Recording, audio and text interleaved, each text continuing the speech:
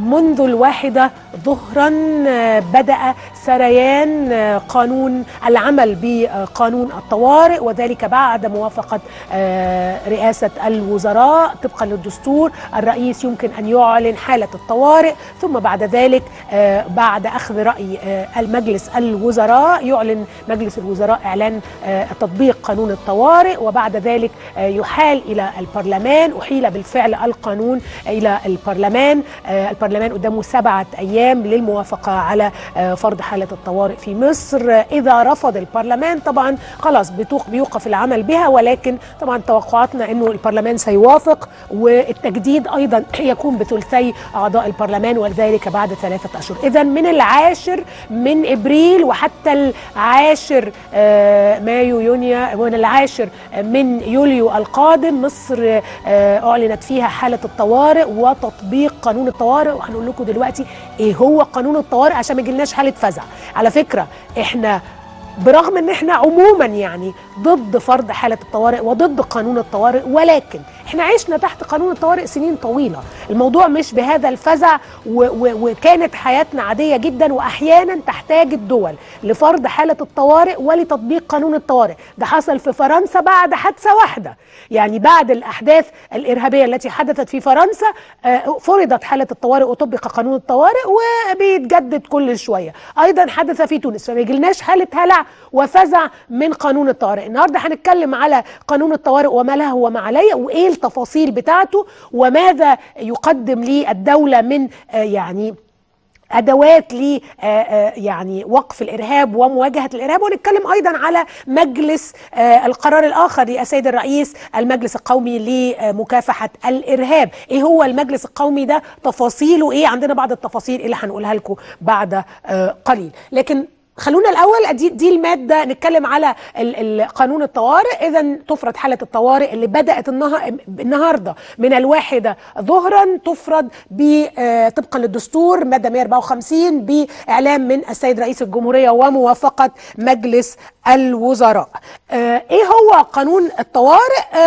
قانون الطوارئ الحقيقة هو قانون يسمح للدولة بمجموعة من الأمور يسمح ب طبعا يجوز إعلان حالة الطوارئ كلما تعرض الأمن أو النظام العام في أراضي الجمهورية أو في منطقة منها للخطر سواء كان ذلك بسبب وقوع حرب أو قيام حالة تهدد بوقوعها أو حدوث اضطرابات في الداخل أو كوارث عامة أو انتشار وباء. وإحنا الحقيقة من سنوات طويلة جدا ومصر عاشت حالات طوارئ عديدة يمكن أوقفت في أوقفها المجلس العسكري. إحنا عايشين حالة طوارئ يعني بتجدد وتفرض وتجدد وتفرض وتجدد من 1914 لكن بعد كده أوقف العمل بقانون الطوارئ. المجلس العسكري أوقف العمل بقانون الطوارئ أسبوعين قبل انتخاب الانتخابات الرئاسية. ثم بعد ذلك مع انتخاب مرسي فرض هو العمل بقانون الطوارئ على مدن القناة لكن ما حدش التزم بهذا الأمر. كان في حالة رافضة له في الشارع.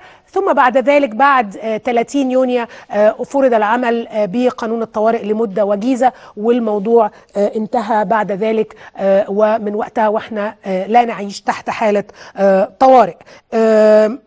إجراءات إعلان حالة الطوارئ أخذ رأي مجلس الوزراء وذلك قبل أن يعلن رئيس الجمهورية حالة الطوارئ وعرض إعلان الطوارئ على البرلمان خلال الأيام السبعه ولا يجوز حل البرلمان أثناء سريان حالة الطوارئ وإعلانها بيكون لمدة ثلاث أشهر تجدد مرة واحدة بموافقة ثلثي البرلمان. طيب يعني إيه بقى ان إحنا عايشين حالة طوارئ؟ عشان بس ما جيلناش حالة فزع. يعني إيه إحنا عايشين حالة حالة طوارئ؟ ومرة أخرى بقول إن دي مش الحالة الأعظم ولكن أحيانا الدول بتحتاج لحالة لقوانين الطوارئ للعمل بقوانين استثنائية ربما تتيح لها ما لا تتيحه لها القوانين العادية. لا نخاف ولكن نكون برضو عندنا حرص ألا يتم التوسع في استخدام الصلاحيات المطبقة أو الصلاحيات المخولة بقانون الطوارئ. أهم حاجة في عودة العمل بقانون الطوارئ في رأيي الشخصي يعني هو عودة العمل بمحاكم أمن الدولة العليا طوارئ.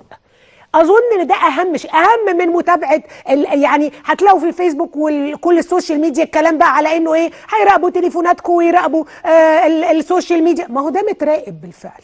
يعني ما فيش حاجة مختلفة كثيرة وإن هم ممكن يخشوا على الرسائل النصية ويخشوا على كذا ويخوية والجماعات الإرهابية.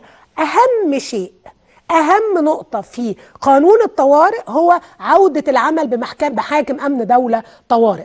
عليا إيه إيه هي محاكم أمن الدولة طوارئ؟ وإحنا عندنا خبراء كتير هيتكلموا في هذا الموضوع. هو تخصيص دوائر للطوارئ في كافة المحاكم الابتدائية والاستثنائية. والحقيقة أن محاكم أمن الدولة العليا طوارئ. كانت المحاكم المنوط بها آه، آه، محاكمة طوال فترة حكم الرئيس السابق مبارك محاكمة كل الجماعات الإرهابية. ميزة هذه المحاكم إيه؟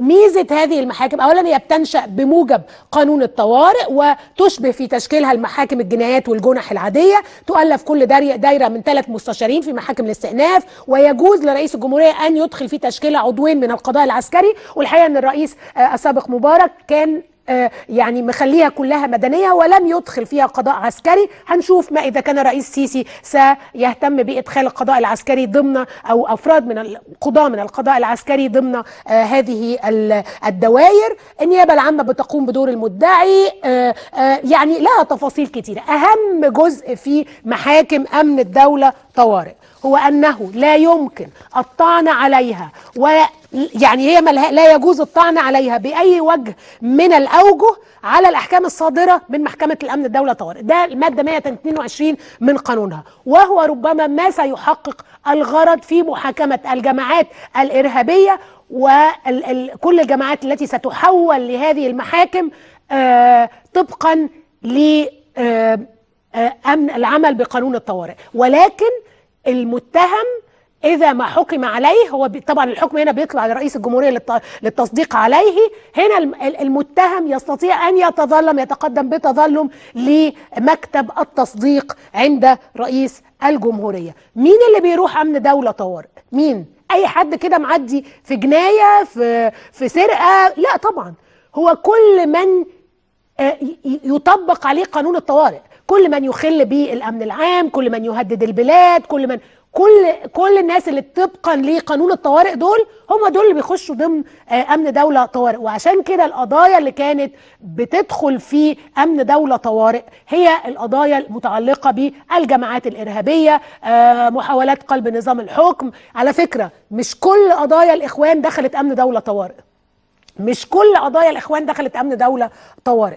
الحقيقة إنه آه، قضايا أخرى يعني في قضايا اللي هي الجماعة الإسلامية دي اللي دخلت أمن دولة طوارئ. القضايا الإرهابية لو تذكروا قضايا آه، العمليات الإرهابية في أسيوط آه، اغتيال السادات الجهاد المسلح. تنظيم الجهاد المسلح دي القضايا اللي بتدخل ضمن آه، آه، آه، أمن دولة طوارئ تعطيل المواصلات والإنتاج والتحريض على على بغض الطوائف أو ديانات سماوية. كل دي دي اللي بتخش ضمن أمن دولة طوارئ. أظن إن أهم ما في هذا القانون هو محاكم أمن الدولة طوارئ لأن هو ده اللي حي... هنقدر يعني الرئيس طلب وإحنا كلنا طالبنا الحقيقة بتعديل قانون الجنايات. وقانون الجنايات على فكرة الإجراءات الجنائية عايزة أقول لكم إن بسرعة مجلس النواب فجأة اشتغل وهيوديه للرئيس يعني خلاص بيعدلوا لكن هيعدلوا في مادة واحدة لا علاقة بالكيانات الإرهابية. ما في ما لم يحدث حتى هذه اللحظة التعديل ولم يناقش التعديل اللي إحنا عايزينه اللي بيسرع من الإجراءات آآ آآ إجراءات التقاضي علشان يكون هناك عدالة ناجزة. وبالتالي هنا محاكم أمن دولة طوارئ آه، لو كانت ضمن الضوابط وأنا هنا بقول لو بحط لو اللي تحت لو دي عشر خطوط ضمن الضوابط القانونية إذا ما استخدمت فقط للجماعات الإرهابية لكل من يريد آه، آه، يعني تهديد أمن والسلم وسلم البلاد هنا بتكون هذه كانت الحقيقة كانت ناجعة جدا وكانت ناجحة في في في القيام بدورها في هذا التوقيت. طبعا ضمن بقى قانون الطوارئ أمور أخرى كثيرة لكن المادة اللي بتخوف ناس كتير اللي هي قدرة رئيس الجمهورية أو صلاحية رئيس الجمهورية إنه يطلب من وزير الداخلية اعتقال المشتبه بهم دون دون آه، آه، دون وجود يعني أمر قضائي هذه المادة أصبحت غير دستورية مش موجودة. يعني هذه المادة قضي بعدم دستوريتها وبالتالي لم تعد هذه المادة موجودة. ف هذه المادة اللي بتخوف ناس كتير إنه ممكن يجي يعتقلوا أي حد بموجب قانون الطوارئ لم تعد هذه المادة موجودة. اذا نحن من الواحدة ظهرا من العاشر من إبريل النهارده يوم الاثنين 10 إبريل لحد يوم 10 يوليو نحن في حالة طوارئ مطبقة في مصر حالة الطوارئ وقانون الطوارئ وهنشرح أكتر يعني إيه قانون الطوارئ وهنشرح أكتر إيه قواعد قانون الطوارئ وهنكلمكم كمان عن المجلس الجديد ل المجلس الجديد لمواجهة الإرهاب. سلطات رئيس الجمهورية طبقا لقانون الطوارئ مراقبة الرسائل أيا كان نوعها ومراقبة الصحف والنشرات والمطبوعات والمحررات. تحديد مواعيد فتح المحلات العامة وإغلاقها. الاستيلاء على أي منقولات أو عقار والأمر بفرض الحراسة على الشركات والمؤسسات سحب التراخيص بالأسلحة إخلاء بعض المناطق أو عزلها وتنظيم وسائل النقل وحظر المواصلات. واللي اتغير بقى فيه زي ما قلت لكم هو إلغاء سلطه رئيس الجمهورية أو من يخوله في الاعتقال والاحتجاز دون التقيد بأحكام الإجراءات الجنائية. وده بعد ما الدستورية حكمت بعدم دستورية هذا النص في 2013 اذا إذا تم تطبيق هذا القانون ضمن التقيد بضروريته. وأنا تاني بحط تحت ده عشر خطوط ضمن التقيد بالضرورة اللازمة له.